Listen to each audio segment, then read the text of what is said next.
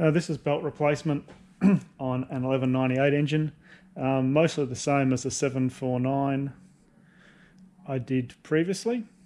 Um, a couple little differences, which I'll just run through.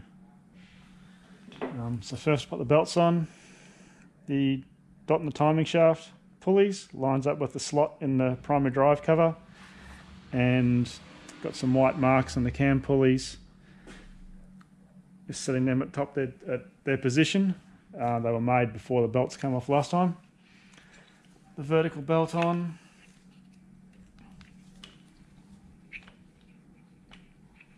I'm giving all these rollers a good spin to make sure they're all okay. Once again, the vertical inlet cam has load on it. So we'll spin it around till it's about in the right place and we can just manipulate it a little bit when we get there. It needs to go around a little bit more. It's quite annoying. Might pull this adjuster off and that'll give us a bit more length in our belt. You put the belt on there,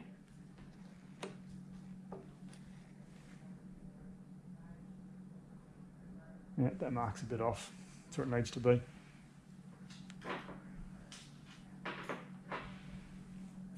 I'll just show you the difference between this and the earlier engines that I alluded to in the other one. And that's the position of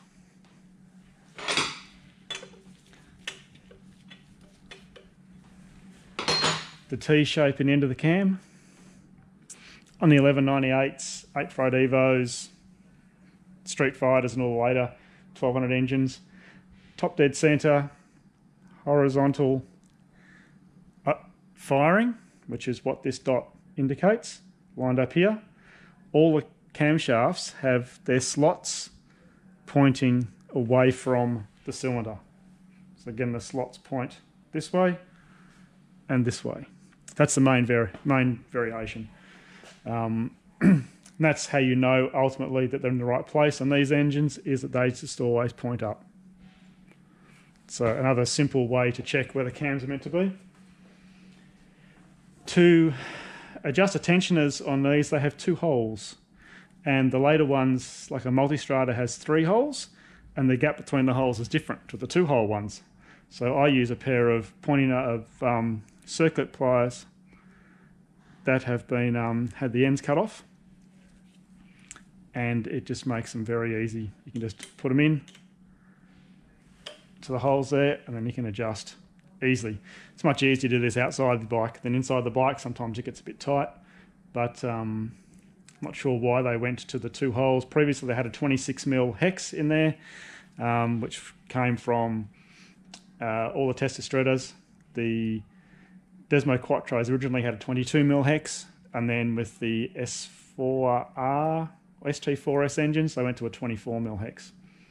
Not sure why they changed. Let's pop this belt on.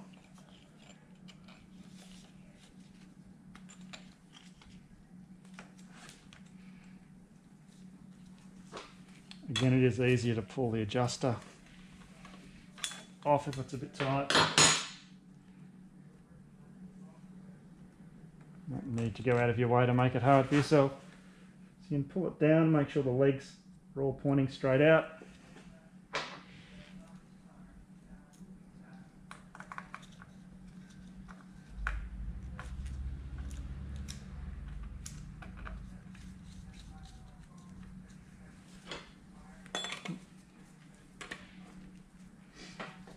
So with that in mind, we'll just put a little bit of tension on the belts.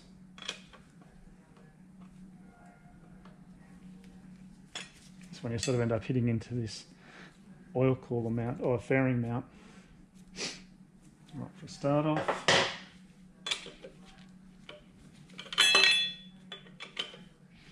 You're right for a start off. Because this engine's out of the bike, there's no oil in it, there's no oil cooler, so we can't turn it over till it gets oil pressure um, because it would make a huge mess. But first off, we'll turn it over with a crank turning tool and just turn it over once gently to make sure that nothing hits anything.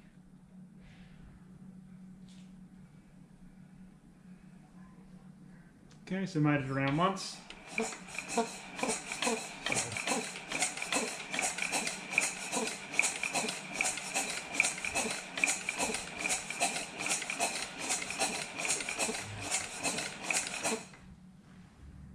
Okay, so give it a, quite a few turns, sort of settles the belts down.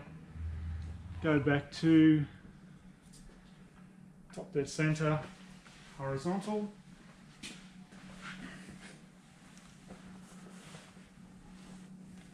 And then I can check the belt tension.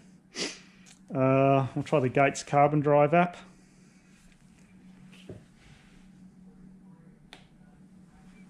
Hundred and twenty-five hertz. So I'll back that off a little bit. Just aiming for 110.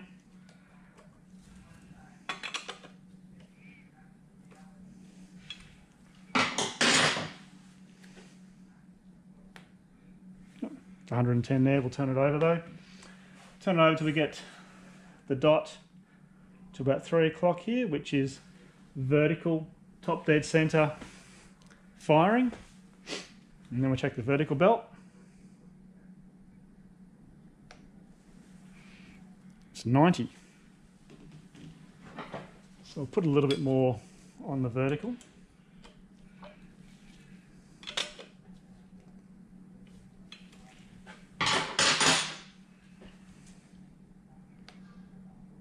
Hmm, 93, but always turn it over once you've done that. I'll go around the other side of the bike, other side of the engine.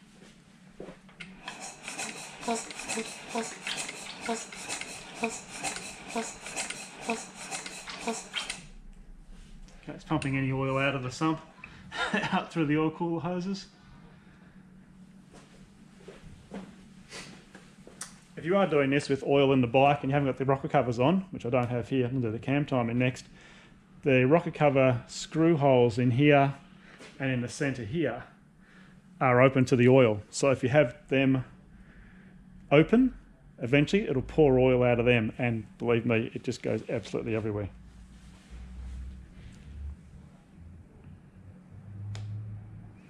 Okay, that's 114 hertz on the horizontal.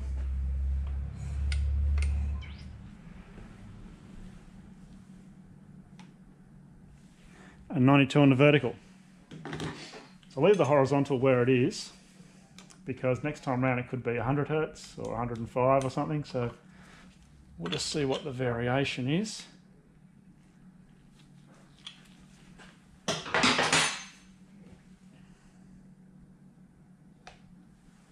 We've got 100 hertz there.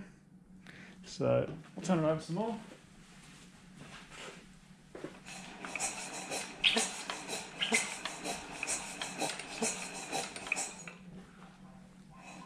Line the dot up.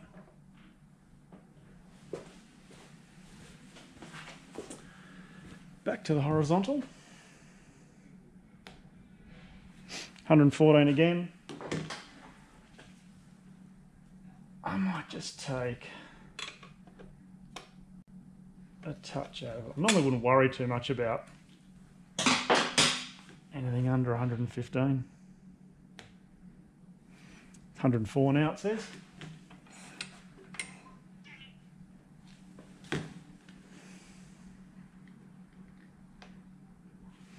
And the vertical's 108, which is nice.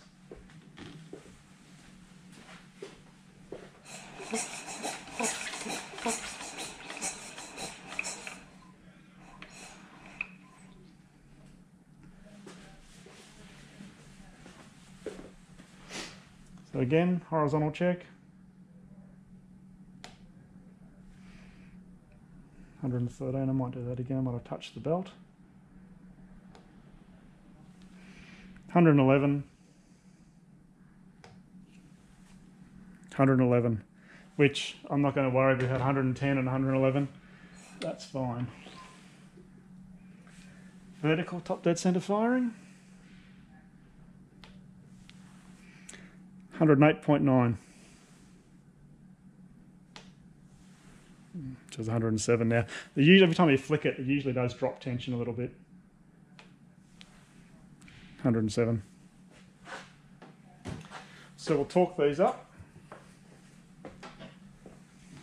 and call them fine at that.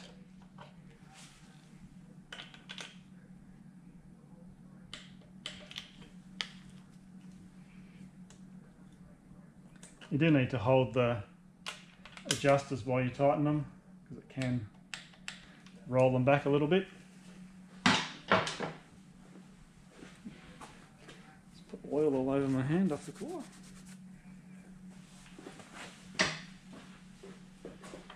Spin it over a few more times.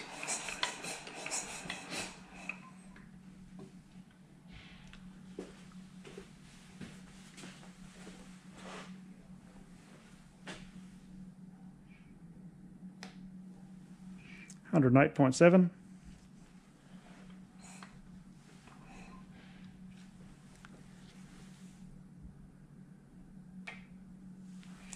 Hundred and eight point eight. Scarily co- coincidental. We'll try it one more round, see if it varies much. 113.2.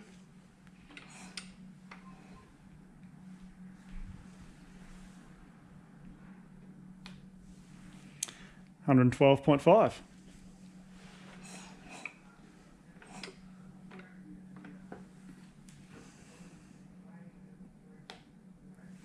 Hundred eleven point two.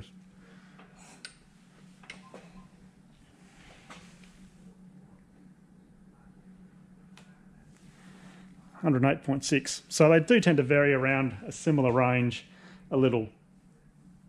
I'm not going to get too worried about that. Um, so we can get a better look at the N-Track tuner this time around too. N-Track tuner, turn it sideways, you get a better view of the scale.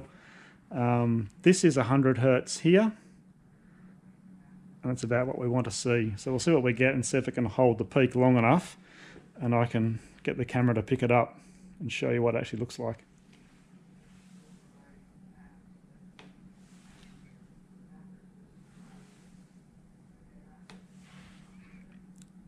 you can see the peak.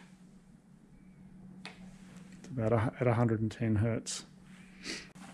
Okay, so that's belts done. Now we're going to do the cam timing.